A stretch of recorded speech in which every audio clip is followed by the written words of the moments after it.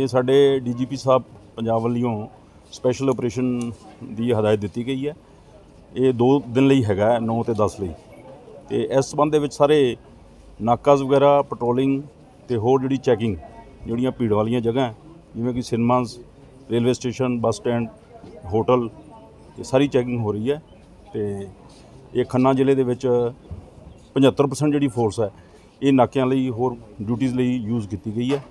ਤੇ ਮੇਨ ਜਿਹੜਾ ਇਹ ਆਪਰੇਸ਼ਨ ਦਾ ਮਕਸਦ ਹੈ ਵੀ ਕਿ ਜਿਹੜੇ ਕੋਈ ਮਾੜੇ ਅਨਸਰ ਹੈ, ਇਹਨਾਂ ਦੇ ਨੱਥ ਪਈ ਜਾ ਸਕੇ, ਤਾਂ ਕਿ ਕੋਈ ਗਲਤ ਐਕਟੀਵਿਟੀ ਨਾ ਹੋਵੇ। ਜਿਵੇਂ ਕਿ ਪਿੱਛੇ ਅੰਮ੍ਰਿਤਸਰ ਵਿੱਚ ਦੇ ਬਲਾਸਟ ਵੀ ਹੋਇਆ ਇਸ ਕਰਕੇ ਫੋਰਸ ਨੂੰ ਫ੍ਰੀਕੁਐਂਟਲੀ ਮਤਲਬ ਇਦਾਂ ਦੇ ਆਪਰੇਸ਼ਨ ਚੱਲਦੇ ਰਹਿੰਦੇ ਆ। ਇਹ ਉਸ ਸੰਬੰਧ ਦੇ ਵਿੱਚ ਅੱਜ ਮੈਂ ਬਠਿੰਡੇ ਤੋਂ ਇੱਥੇ ਆਇਆ ਤੇ ਸਾਰੀ ਚੈਕਿੰਗ ਵਗੈਰਾ ਚੱਲ ਰਹੀ ਜਿਸ ਤਰ੍ਹਾਂ ਧਮਾਕੇ ਸੀ ਉਸ ਤੋਂ ਬਾਅਦ ਲੋਕਾਂ ਦੇ ਵਿੱਚ ਵੀ ਇੱਕ ਡਰ ਦਾ ਮਾਹੌਲ ਪੈਦਾ ਹੋ ਜਾਂਦਾ ਤੇ ਕਈ ਅਫਵਾਹਾਂ ਵੀ ਫੈਲਦੀਆਂ ਨੇ। ਉਹ ਕੀ ਅਪੀਲ ਕਰੋਗੇ, ਜਿਹੜੇ ਅਫਵਾਹਾਂ ਫੈਲਾਉਂਦੇ ਨੇ ਜਾਂ ਲੋਕਾਂ ਨੂੰ ਕੀ ਅਪੀਲ ਕਰੋਗੇ ਅਵੇਅਰਨੈਸ ਲਈ? ਇਹ ਜਿਹੜੀ ਪੁਲਿਸ ਨੂੰ ਅਲਰਟ ਕੀਤਾ ਹੋਇਆ ਪੂਰਾ ਇਸ ਸੰਬੰਧ ਦੇ ਵਿੱਚ ਹੀ ਇਹ ਲੱਗਦਾ ਬੜਾ ਮਤਲਬ ਕਿਸੇ ਸ਼ਰਾਰਤੀ ਅੰਸਰ ਦਾ ਕੰਮ ਹੈ। ਉਹਦੇ ਬਾਰੇ ਤਫਤੀਸ਼ ਬੜੀ ਡੂੰਘਾਈ ਨਾਲ ਹੋ ਰਹੀ ਹੈ। ਸਾਰੀਆਂ ਏਜੰਸੀਆਂ ਇੰਟੈਲੀਜੈਂਸ ਤੇ ਪੰਜਾਬ ਪੁਲਿਸ ਵੀ ਲੱਗੀ ਹੋਈ ਹੈ। ਇਹਦੇ ਬਾਰੇ ਜਲਦੀ ਪਤਾ ਲੱਗ ਜਾਊਗਾ। ਧਮਾਕਿਆਂ ਤੋਂ ਬਾਅਦ ਕਿੰਨੀ ਸਿਕਿਉਰਿਟੀ ਟਾਈਟ ਕੀਤੀ ਗਈ ਹੈ? ਹੁਣ ਕਿਹੜੀ ਕਿਹੜੀ ਜਗ੍ਹਾ ਤੇ ਬੇਸਿਕਲੀ ਜਿਹੜੇ ਸੈਂਸਿਟਿਵ ਮੰਨ ਰਹੇ ਹੋ ਤੁਸੀਂ?